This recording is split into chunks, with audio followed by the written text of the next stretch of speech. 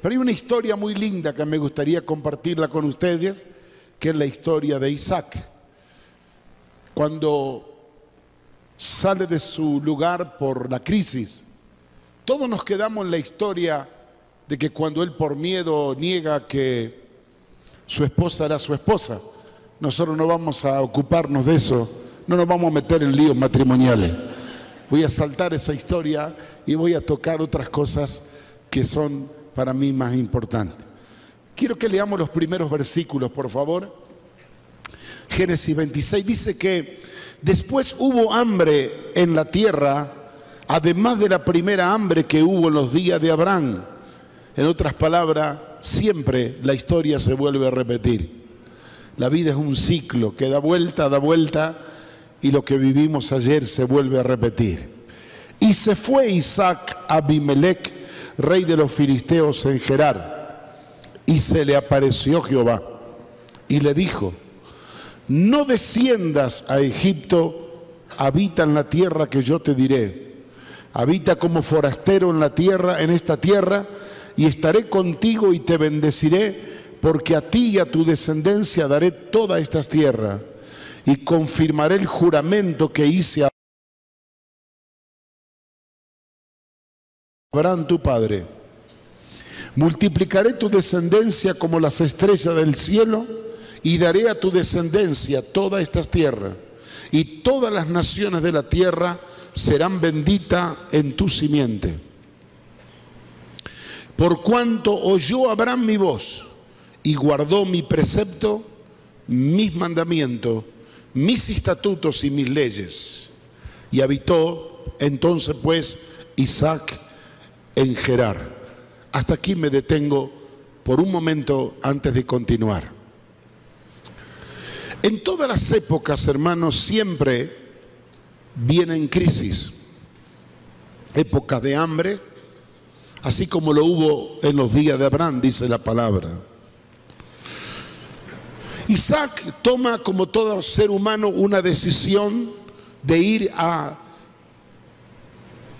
los filisteos en Gerar a refugiarse y se va al rey Abimelech. Siempre en la vida hay una reacción natural que se produce frente a la crisis y es tomar decisiones que tienen que ver con buscar ayuda, apoyo. Uno se achica, se limita, no gasta, toma diferentes decisiones. No es bueno tomar decisiones apresuradas en medio de las crisis sin primero no buscar a Dios. Porque el mundo que no tiene, en Dios, no tiene a Dios y no confía en Dios, toma decisiones que a veces son buenas y a veces son malas. Pero los hijos de Dios tenemos que primeramente siempre buscar a Dios antes de tomar una decisión. La palabra del profeta Isaías es reiterativa en el capítulo 30 y 31. Dice, ay, anunciando días de ayes, de dolor. Ay de los que descienden a Egipto por ayuda y no buscan o no confían en el Santo de Israel. Y ponen su esperanza y su confianza en sus carros porque son grandes, su jinete y en sus caballos. Y no confían en el Santo de Israel. Dios se le cruza en el camino a Isaac y le dice, no desciendas a Egipto, quédate en esas tierras. Y comienza el Señor en su aparición a declararle o a recordarle que sobre él había una palabra que se remontaba a los días de su padre Abraham. Cuando Dios se le apareció a Abraham e hizo pacto con él, ¿Te recuerdas cuando yo le pedí a Abraham tu vida en sacrificio? ¿Y cuántas promesas yo le di a tu padre Abraham? Y le dije que le iba a dar tierras, que lo iba a prosperar, lo iba a bendecir, que en su simiente, que eres tú, iban a ser benditas las naciones de la tierra. Te traigo a memoria estas palabras, le dice Dios, y por causa de tu destino y por causa de tu herencia, por causa del plan eterno que yo tengo con tu descendencia y con tu descendiente, es que tengo para ti una palabra. Y la palabra que Dios le da a Isaac es una palabra que se constituye en una estrategia. Verso 2. Se le apareció Jehová y le dijo, no desciendas a Egipto, habita en esta tierra que yo te diré y habita como forastero en esta tierra y haré contigo, estaré contigo, te bendeciré porque a ti y a tu descendencia daré toda estas tierra. ¿Cuál es la palabra que Dios le da? Estratégica. Mira la tierra que vas a vivir. Esta es la tierra tuya. Yo ya se la prometí a Abraham. Esta tierra tú la vas a poseer. Esto será tuyo. Hoy no lo puedes tocar. Hoy no puedes mostrar un título de propiedad. Todo lo que tienes es mi palabra. Pero mi palabra es suficiente. Si tú te, te animas a no ir a Egipto buscando ayuda y te confías en mi palabra, quedándote en esta tierra, aunque hoy vivas como forastero, aunque hoy no seas el dueño, aunque hoy no te manifiestes como patrón, te animas a vivir como forastero, aún como forastero te voy a bendecir hasta el día que esta tierra te pertenezca. Para un hijo de Dios, mis amados, no necesita uno tener el título de propiedad debajo del brazo, montar una oficina y decir esto es mío. Para un hijo de Dios la palabra y la promesa es suficiente para saber que lo que Dios ha dicho es sí y amén. Viene hoy, viene mañana, sabemos que es nuestro. Le voy a contar un, ejemplo bíblico. Dios lo manda a los diez espías y la promesa es, toda la tierra que pisar en la planta de vuestro pie será de ustedes. Va Caleb y pisa el monte Hebrón. Y él dijo, ya esto es mío. Se vuelve a Egipto y vuelve con la noticia, ya tengo una tierra comprada, ya tengo una montaña. Pasaban los años y nunca iba. 45 años pasaron ya estaba en edad de jubilación el pobre viejo Caleb. Y llega allá y se encuentra con la noticia que según la nueva ley, la tierra había que sortearla. ¿Y sabe qué dice Caleb? Mira Josué, a mí no me venga con sorteos. Yo ya no creo más en la lotería. A mí no venga con reparto que a este le salió una cosa, al otro le salió otra. Yo no vivo por la suerte, yo vivo por la palabra de Dios. Hace 45 años Dios me entregó una tierra y ahora vengo a poseerla. Estoy tan fuerte como ayer. Estoy, lo estoy hoy después de 45 años y ya tengo 85 para entrar, pelear, sacar a esos intrusos y mientras vos te encargás de repartirle la tierrita a los demás, yo voy por mi posesión. La palabra es lo que te asegura el derecho de poseer, como le, dijo a Isaac, de trabajar con fe. No importa que era forastero. En la isla iban a pasar problemas muy graves como le pasaron, pero esa palabra le iba a picotear como una mecha en la cabeza, haciéndole recorrer, recordar un día que esos tiempos de adversidad y de prueba se iban a terminar y él iba a poseer toda la tierra conforme a la promesa de Dios. Cuando le dice, no, habita como forastero en esta tierra y quédate tranquilo porque esto será tuyo y yo te voy a bendecir, le está diciendo, nunca reclames tus derechos. Porque van a llegar momentos que te va a dar ganas de gritarle o bofetearlo el que tenía delante y decir, si ya Dios me dijo que esto va a ser mío. Sin embargo, calla tú serás un forastero ante los ojos de ellos, pero ante mis ojos tú eres el dueño. Yo creo que estos principios son importantes, hermanos, para poder mirar las promesas de Dios. ¿Qué hace Isaac? Le obedece, no va a Egipto, vamos a pasar el lío de la esposa. Y dice el verso 12, y sembró Isaac en aquella tierra y cosechó aquel año ciento por uno. ¿Le hace acordar algo esto? Así son las cosechas de los hijos de Dios. Ciento por uno. Y lo bendijo Jehová. Y el varón enriqueció y fue prosperado y se engrandeció hasta hacerlo muy poderoso. ¿Te das cuenta? Que tú no necesitas ser el dueño, no necesitas tener un cargo, no necesitas tener un título para que Dios te bendiga y te prospere, aunque te arrinconen y te digan, mira, tú viniste a pedirme piedad y misericordia, viniste de un tierra de hambre y yo te di un refugio aquí, eres un pobre agregado.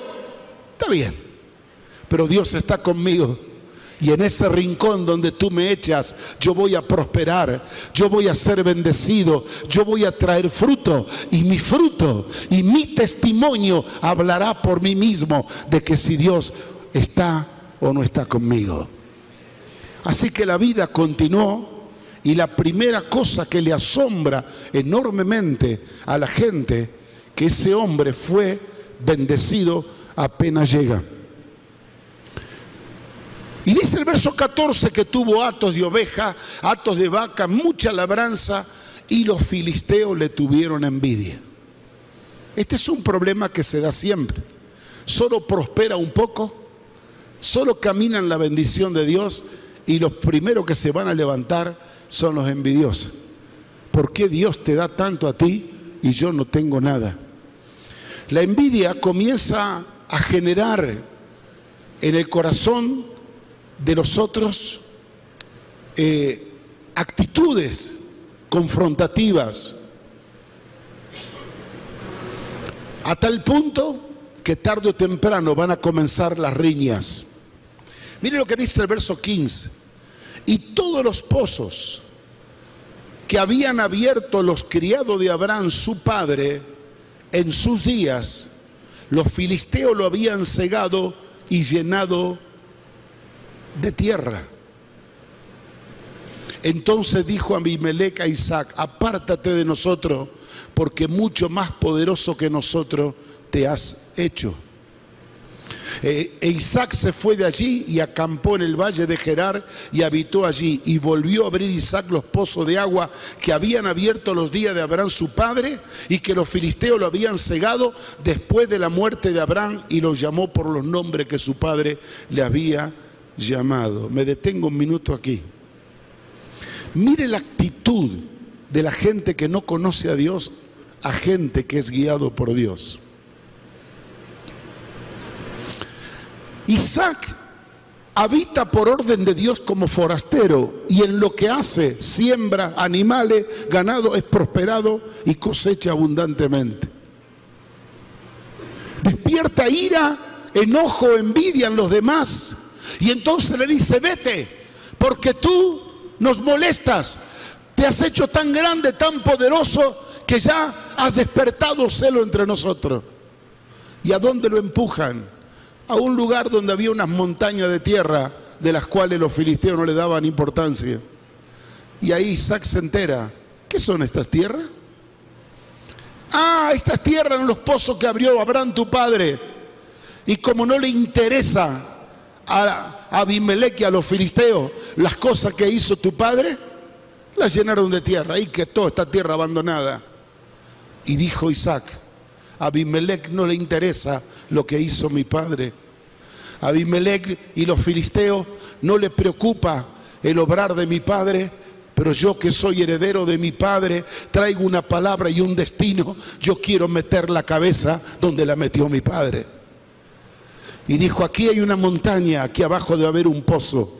Comenzó a cavar. Fíjese que Abimelech lo tapó porque no le interesó. Cubrió de tierra una bendición que Abraham había despertado. Sin embargo, viene Isaac en una actitud hermosa espiritual y vuelve a retomar los recursos que su padre había creado para bendición de su familia, más allá de que sus amigos filisteos no le prestaban importancia. Los filisteos dijeron, nosotros somos conocedores de la tierra, sabemos dónde sembrar, dónde trabajar, dónde buscar agua. ¿Qué van a hacer estos extranjeros a enseñarnos a nosotros? Así hace el mundo. Tenemos nuestra manera, tenemos nuestro código, nuestros principios. Nosotros siempre vamos a acabar en los pozos que nuestros padres han cavado. Vamos a buscar el agua de vida donde nuestros mayores estuvieron cavando. Hay una tendencia en la generación presente de descalificar todo lo que hicieron nuestros mayores. Hoy con el griego, el hebreo, con las notebooks y con todas las filosofías modernas y podemos tener acceso a una biblioteca internacional y escuchar lo que dice uno y otro, creemos que es suficiente. Muchos de ellos están tapando con tierra los pozos que abrieron nuestros padres. Pero un hombre sabio como Isaac dijo, mi padre fue bendito de Jehová al abrir esos pozos que un mundo indiferente ignoró y tapó. Yo no quiero correr tras la corriente de este siglo presente, quiero volver a la fuente donde mi padre fue bendecido. Así que comenzó a abrir los pozos que estaban tapados de agua y se encontraron con aguas hermosas. ¿Qué dice la palabra? En el verso 18, y volvió a abrir Isaac los pozos de agua que habían abierto los días de Abraham su padre y que los filisteos habían cegado después de la muerte de Abraham y los llamó por los mismos nombres que su padre lo había llamado. Mire qué actitud de poder ligarse a, la historia y a la palabra de lo que su padre había recibido. Pero cuando los siervos de Isaac cavaron en el valle y hallaron allí un pozo de agua viva, los pastores de Gerar riñeron con los pastores de Isaac diciendo que las aguas son nuestras. Fíjese qué ventajita los tipos, ¿no? Antes no le importaban. Lo habían tapado de tierra. Ahora que descubrieron la bendición, no, no, no, esta tierra nuestra nos pertenece así que el agua es nuestra. ¿Sabe cómo termina? Abraham se tuvo que correr.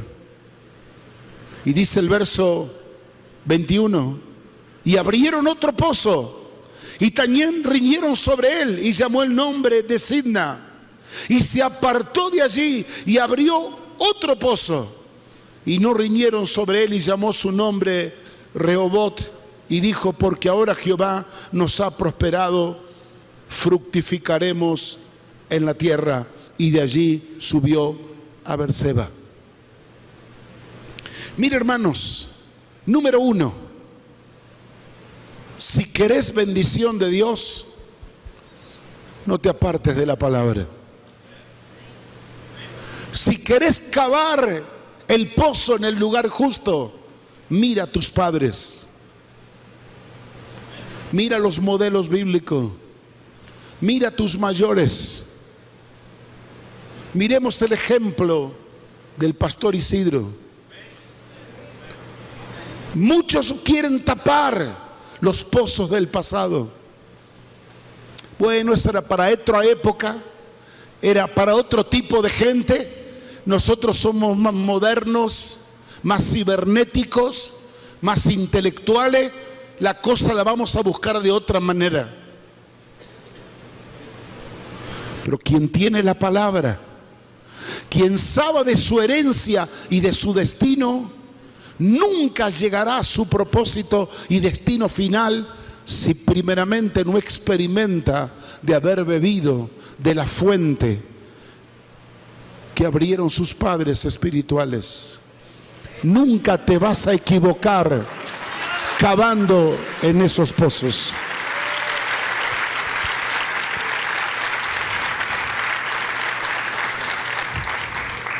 ¿Qué Isaac? Manifestaba la bendición, porque un hombre prosperado siempre prosperado.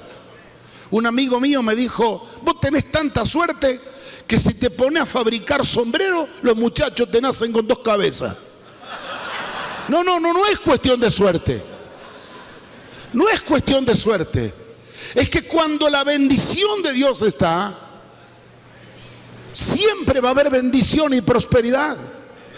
Ahora hay momentos que la bendición se manifiesta como se manifestó en Isaac, que lo arrinconaron y le dijeron, arreglate ahí. Y ahí prosperó, ciento por uno. Y dijeron, bueno, andate para allá, a donde están esas montañas de tierra, que esa tierra no nos sirve para nada. Y, y, lo empujaron a la tierra de su padre Abraham. Y él dijo, aquí está la bendición de mi padre, también aquí está mi bendición. Vamos a acabar muchachos acá. No importa que el sistema diga no, no importa que los otros digan acá no funciona, lo que funcionó ayer para el pueblo de Dios nos va a funcionar a nosotros también. Así que cuando estaban festejando el agua fresca, atrás se lo venían los federales a empujarlo. ¿Qué hubiera hecho Isaac si fuera yo? O yo si fuera Isaac. Ya cuando me empujaron la primera vez y la segunda, ya se me va la espiritualidad. Quiere que le muestre lo que me dijo Dios. Quiere que le saque los documentos lo que dijo Dios a mi padre Abraham. Esta tierra me pertenece. Ustedes van a quedar muertos como langosta. Y mañana esto será mío. Dios dijo que te vean como un forastero que se crean que tú eres un forastero. Porque el día va a llegar que ya no serás más forastero. Esta será tu tierra. Gózate siendo forastero. Te van a poner aquí y Dios te bendice. Pues si la bendición está sobre ti, no se puede esconder la bendición. Y de repente le molesta a alguno, correte para allá. Y ahí te mandan al lado de los baños y hasta el baño da un perfume que nunca daba. Ahora prospera. ¿Qué le pasa a este? Saquémoslo y mandémoslo a la bodega. Y la gente dice, me da una gana de ir a la bodega porque paso por ahí y siento una unción tan particular. Nunca se escucha en Isaac un reproche, una queja. Algo que me encanta de, de, Isaac Isaac tomaba la bendición en la mano, se la arrebataban y lo empujaban. ¿Y sabe qué hacía él? Cavaba otro pozo. Se ponía a trabajar, sacaba la bendición, las aguas vivas, se gozaba. Esto es mío, andate para allá. Ya se iba para allá y cavaba otro pozo. Y todo lo que hacía prosperaba. Te voy a decir algo que pasa muy a menudo en Argentina. Tal vez aquí no pasa. En el segundo pozo, los argentinos se levantan y te mandan a la corte y te hacen un juicio. Pero un hijo de Dios, cuando te sacan del segundo pozo, va y cava otro pozo. Y te sacan del tercero y ¿sabe qué hace? Va y cava otro pozo. Y te empujan contra un rincón. ¿Y qué hago aquí? Y cava otro pozo. Y donde pozo que se abre, pozo que va a cubrir como un manto de bendición tu vida, que será el testimonio más grande que va a perfumar tu vida. Porque esto no es cosa tuya, Isaac. Esto es cosa mía por causa de tu destino y de tu propósito.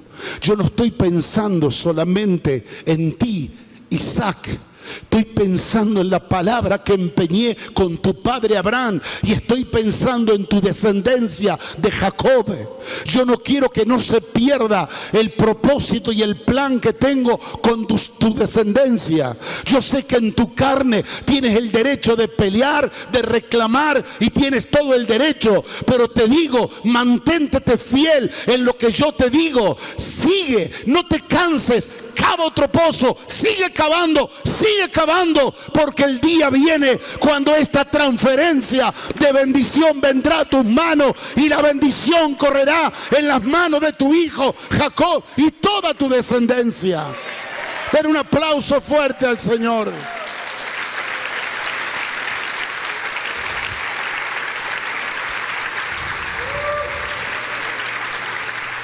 Nunca te canses de hacer bien Dice la palabra.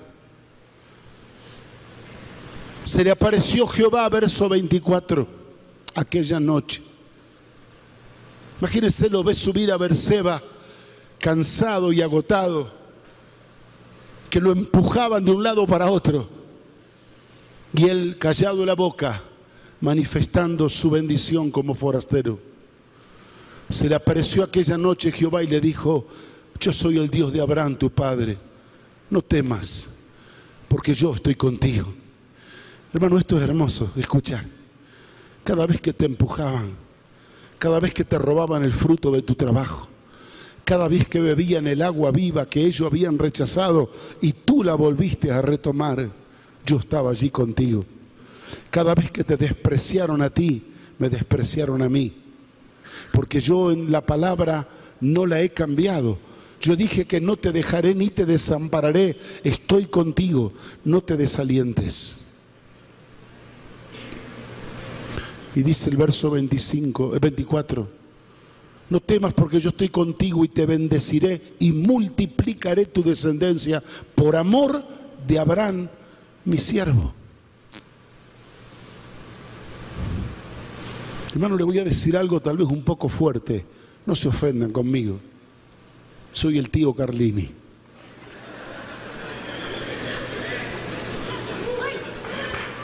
Algunas cosas, algunas cosas Dios la va a hacer a pesar de usted. ¿Sabe por qué? No por causa suya, por causa de la palabra que Dios le dio a Isidro.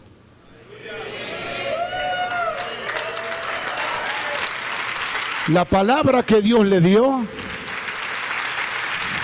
esa palabra se va a cumplir a pesar de. Cuando Dios lo visita a Isaac y le dice, yo me doy cuenta de lo que estás sufriendo, me doy cuenta de todas las injusticias, me doy cuenta cómo te patean, me doy cuenta cómo te empujan, me doy cuenta cómo no te reconocen. Me doy cuenta como toda la bendición que yo la he preparado para ti vienen y te la roban. Pero quiero decirte que yo estoy contigo. Yo lo estoy viendo. Y por amor a mi siervo, tu padre Abraham, yo voy a cumplir todo lo que he prometido.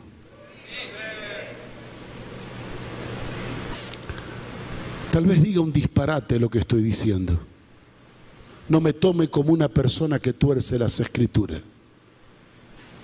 Pero yo estoy seguro que en la presencia de Dios el Señor le está diciendo, Isidro, no temas, yo voy a cumplir todo lo que he prometido. Todo lo que he prometido lo voy a cumplir. Y un día, un día cuando tu descendencia venga a mi presencia, se podrán gozar con gran alegría que todo lo que yo te hablé en tu soledad e intimidad, todo lo habré cumplido.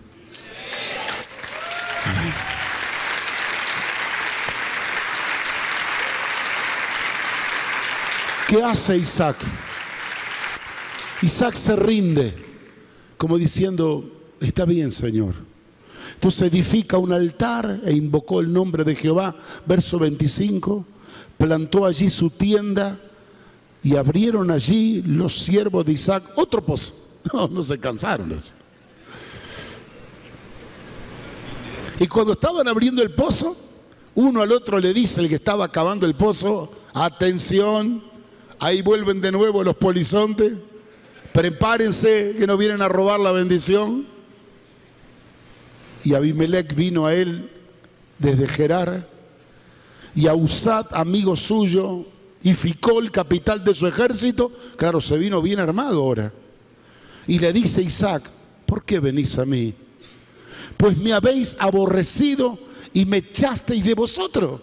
Como diciendo, hey, ahora ya no tenían más lugar donde empujarnos. La última patada que me diste, me tiraste acá hasta la frontera.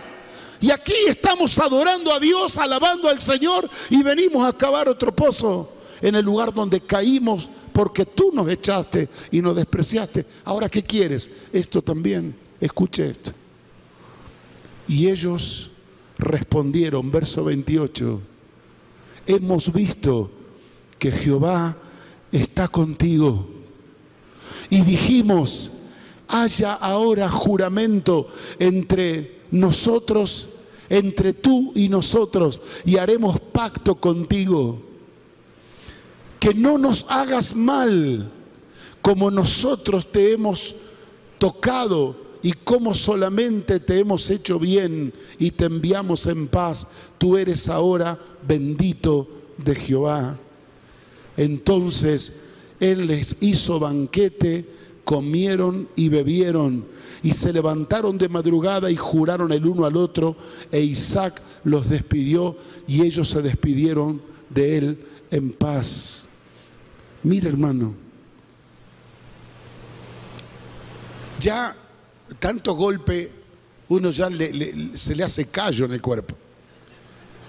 Ya ve que vuela vuela algo en el aire y usted cree que un misil que viene arriba suyo. Ya uno se obsesiona de tanto golpe que recibe. Y cuando estaban allí en secreto, cavando el último pozo, lo ven venir armado hasta con el jefe del ejército y dice, este está ensañado conmigo. No solo que me persiguió desde el día que llegué, me sigue persiguiendo. ¿Para qué vienes a mí? ¿No te cansaste de perseguirme? ¿No te cansaste de humillarme? ¿No te cansaste de hacerme daño? Y ahora sigue, no. Te vengo a pedir perdón y a reconocer que Dios está contigo. Nadie puede hacer lo que vos hiciste si Dios no está contigo. Te arrinconamos y prosperaste al ciento por uno y te enriqueciste en poco tiempo. Y lugar donde caías, hacías un pozo y Dios te bendecía. Y ahora te tiramos aquí a la frontera y estabas adorando a Dios y tus siervos cavaron un pozo y salió agua viva. Nos hemos dado cuenta que Dios está contigo. Y al descubrir que Dios está contigo, vemos tu prosperidad, tu bendición. Dijimos, ¿para qué vamos a pelear solo con nuestra fuerza? Vamos a ponerlo al lado de alguien que es bendito de Jehová. Vamos a hacer pacto. En otras palabras le dijeron, te tenemos miedo. Promete que no nos van a hacer daño como nosotros decimos, que nos vas a cubrir. Queremos estar al lado tuyo. En ese pacto queremos que la bendición que Dios te da a ti, de alguna manera a nosotros nos alcance. Escuche esto, hermano. Dios, por causa de una palabra que es obedecida, siempre torna la maldición en bendición. Porque un heredero de bendición, la maldición no le llega. Y aquel que es causa de maldición, mañana va a ser un canal de bendición para tu vida. No te preocupes. Solo sigue como forastero. Como un siervo en el lugar donde Dios te ponga. Sigue como un siervo, como un forastero como que no fueras daño dueño de todo, eh, perdón, como que no fuera dueño de nada, aunque eres dueño de todo. Solo gózate en la palabra, abraza la promesa, deleítate en ese día que llegará cuando esa palabra se cumplirá. Pero mientras camines este, este tiempo de forastero por una tierra que es tuya, pero como si no la fuera, en medio de injusticia, que te patean en tu propia tierra, que te empujan de los pozos de bendición, que te corren extraños que habitan tu tierra. No te aflijas. Sigue como un buen forastero cavando pozos. Sigue predicando. Sigue salvando alma. Sigue enseñando el Evangelio. Sigue sirviendo a Dios como forastero. Sigue. Porque llegará el momento antes que tú poseas tu heredad, tus enemigos vendrán a rendirse y a reconocer que Dios está contigo. Porque van a ver la bendición y la prosperidad que está brotando de tus manos. Quiero terminar, hermanos, con una reflexión. Todo actos de injusticia, de crisis, de problema, son como un motor que se enciende, que quiere hacernos despegar a veces a decisiones arrebatadas, impensadas, donde muchas veces dejamos de lado la palabra que Dios nos habló en tiempo pasado. Me gusta lo de Caleb, porque él dijo 45 años no me hicieron olvidar la promesa, ni los momentos más difíciles de mi vida me hicieron perder la fe de que un día yo iba a pisar mi montaña.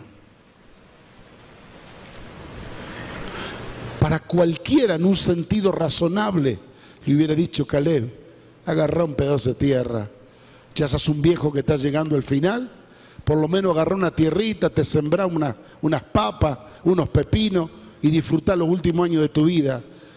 No te hagas el visionario a esta altura del partido. No, querido, eso no es cuestión mía. Si Dios es verdad y la palabra que me dio es verdad, aún en el borde de la muerte yo voy a ver el cumplimiento de ella. Y Caleb la poseyó. Lo difícil es manejar los tiempos de Dios. Dios no usa citizen. Para él un día es como mil años y mil años como un día. En un soplo termina todo y espera con paciencia todo el tiempo necesario hasta que nosotros caigamos rendidos a su presencia. Pero vamos a aprender en la presencia de Dios a caminar en los tiempos de Dios. La cosa más hermosa de esta historia y de nuestra historia, que nosotros sabemos que siempre terminaremos en victoria. En esta partida nunca perdemos, siempre ganamos lo que estamos alineados con Dios, lo que le obedecemos a su palabra, lo que no nos revelamos a ella y lo que no nos cansamos de esperar. Porque la fidelidad de Dios es uno de los más grandes atributos. Porque yo me puedo cansar, pero Dios nunca se cansará.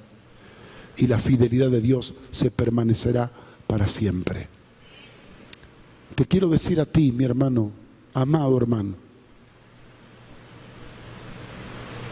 si te sientes en un, lugar injustamente colocado, si tú crees que no han actuado bien contra ti,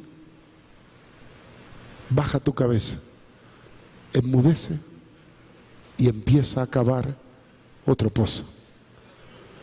Dios te va a demostrar que ese pozo tiene una riqueza grande para ti. Pero no te goces cuando tengas el pozo listo, porque es posible que de atrás vengan y te den una patada y te empujen al otro lugar. ¿Sabe qué tienes que decir tú? Gracias Señor. Creo que vino una dirección del Espíritu que me trajo hasta este rincón. ¿Para qué? Para empezar a cavar otro pozo. Y donde Dios te ponga, donde algunos pensaron que te empujaron, pero donde tú vayas, ahí vas a ser prosperado. ¿Sabe qué van a ser los que toman tu pozo? Como no tienen la palabra, ni la herencia, ni el destino, lo van a tapar de tierra. Porque para ellos no les sirve de nada. Ellos tienen otros mecanismos, tienen otra manera. No conocen lo que tú conoces. La herencia más grande que tenemos nosotros es lo que hemos heredado de la palabra y del evangelio de nuestros mayores. Que nunca se nos apague esa luz, porque esa será la que nos mantendrá viva para siempre. Y llegará el día que esa tierra nunca, o esa herencia, o ese destino, nunca nos será quitado. No va a haber filisteos, no va a haber enemigos, que nadie nos molestará, porque en esa tierra la gloria de Dios va a ser manifestada. Amén, hermanos. ¿Reciben la palabra? Den un aplauso al Señor. Vamos a estar de pie, por favor. Y vamos a orar a Dios. Vamos a orar a Dios.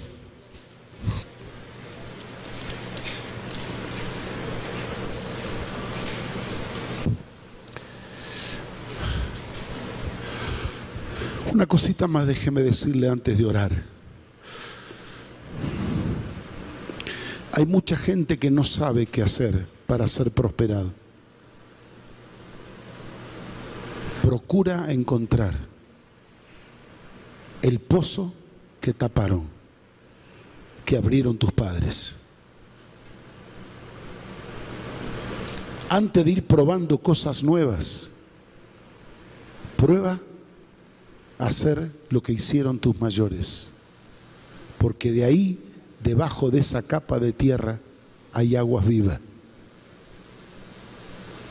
Segundo, yo siento en esta tarde que hay mucha gente que está muy desalentada, desanimada,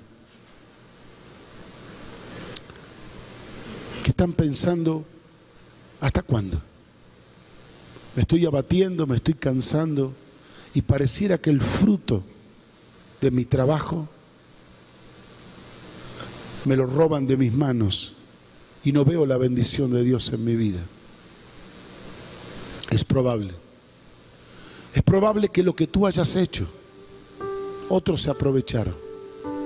No te olvides una cosa, la obra es de Dios. Las almas son del Señor el ministerio no es tuyo, es de Dios. Mientras tengas fuerza, mientras tengas aliento, mientras sigas amando al Señor, cava otro pozo. Cava otro pozo.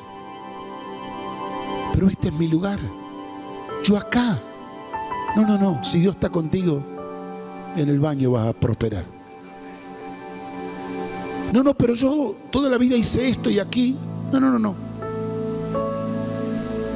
Si Dios está contigo, en Chiapa, en Cancún,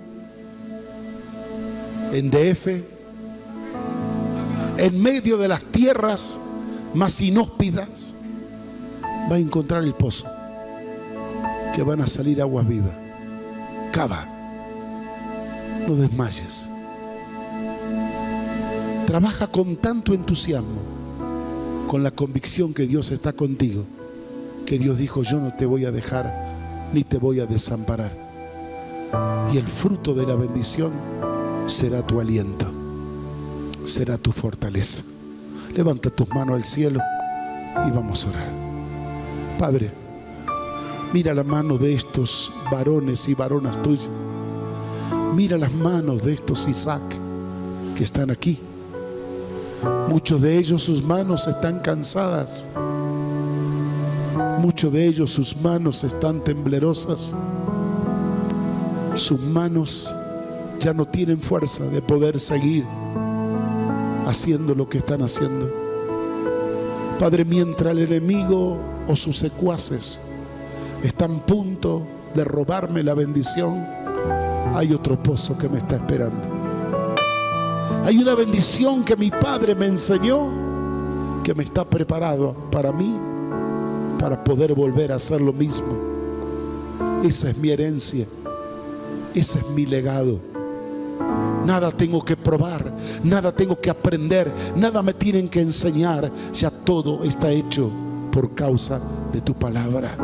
Te pido que bendigas de una manera grande y poderosa a este pueblo maravilloso y a este ministerio, a estos pastores, a estos líderes, a estos siervos tuyos, ministros de Dios, bendícelo, te lo ruego.